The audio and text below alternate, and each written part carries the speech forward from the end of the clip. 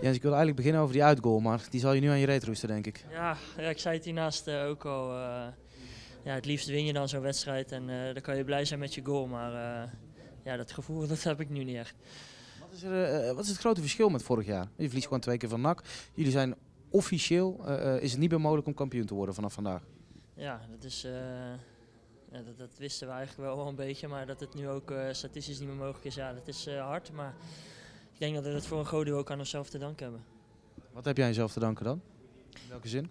Nou goed, eh, zulke wedstrijden als vandaag, eh, dan speel je eh, voor de beker afgelopen week, nou redelijk, speel je 3-0 en dan laat je nu dit weer zien. En ja, het is gewoon veel te wisselvallig. En onze kracht vorig seizoen was dat we na, na een tegenslag, of dat we altijd weer snel reageerden. En dat we heel ja, consistent speelden.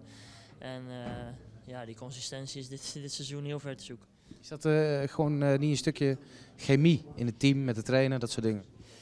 Ja, die eh, vraag zullen we ook vaker krijgen, maar ja, dat, dat is altijd heel makkelijk, vind ik. En Ja. Niet alleen over het team met de trainer, maar ook het team onderling. Gewoon het hele principe van chemie lijkt te ontbreken, wat er vorig jaar wel was. Ja, kijk, eh, een team ziet er anders uit. Dus je, gaat, eh, je speelt ook iets anders, de automatismen zijn wat anders. En ja, vorig jaar leek alles op zijn plaats te vallen en, en dit jaar is het af en toe zoeken.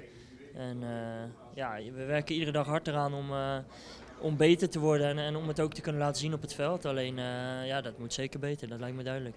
Ja, die andere vraag, waarvan je natuurlijk ook al weet dat die komt. De positie van Van Bronckhorst. Mensen zijn boos, snap je dat? Ja, ik snap dat mensen boos zijn en Snap je dat die woede zich op eh, eh, de trainer richt voornamelijk? Nou ja, wij zijn degene die op het veld staan. Dus het, het zou eigenlijk duidelijker zijn of logischer als, als wij die ja, pijlen op ons gericht kregen. Maar je weet hoe het werkt in het voetbal. Dan hoef je nooit een trainer te ontslaan natuurlijk. Volgens dat argument. Je nooit de trainer hoeft te ontslaan. Maar wat ik zei, je weet hoe het werkt in het voetbal. Dan zullen de pijlen op de trainer gericht raken. En goed, wij als, als groep staan achter de trainer. En ja, hoe, hoe, dit gaat eh, ontwikkelen, ja, dat weet ik niet. Maar eh, aan ons eh, zal het niet liggen. Volgende competitiewedstrijd. ik kan me voorstellen dat jullie met lood in de schoenen beginnen. Nou, nee, dat is niet waar. Nou, wat dan? Fris en fruitig weer. Ja, daar gaan we voor. We, ja, je wil iedere wedstrijd weer, weer goed beginnen, maar dat zeiden we vandaag ook. En ja, als je dan zo begint, ja, dat, daar wil ik het eigenlijk niet meer over hebben. Laatste ding dan, ik vroeg het aan Sven van de week.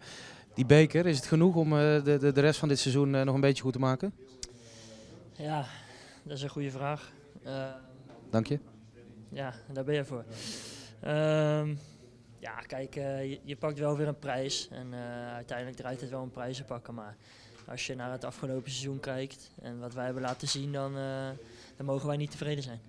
Troostprijs, kunnen we het zo noemen? Ja, met een goudrandje.